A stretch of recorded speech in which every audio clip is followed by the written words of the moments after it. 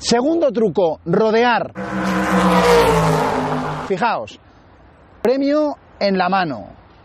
Le pegamos al hocico del perro y vamos a llevarle al cono y cuando lo rodee se lo entregamos. Lo entregamos cuando lo sobrepase. Cuando vayamos repitiendo este gesto, el perro irá mecanizando, rodear el elemento, podemos ir recortando la ayuda gestual. Fijaos.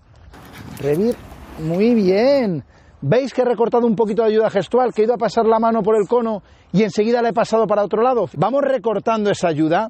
Poco a poco, en el transcurso de los entrenamientos, el perro irá entendiendo que tiene que rodear el elemento sin necesidad de que nosotros le llevemos. Tota, revir, muy bien, cosita. Y poco a poco, cuando vayamos trabajando, nos iremos alejando cada vez más del elemento. Muy bien.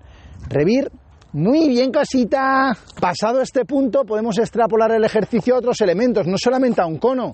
Podemos mandar al perro a rodear árboles, papeleras, farolas, incluso personas que se queden quietas. Venga, a trabajar. Guarda este vídeo para revisarlo antes de entrenar con tu perro. No te saltes ningún paso.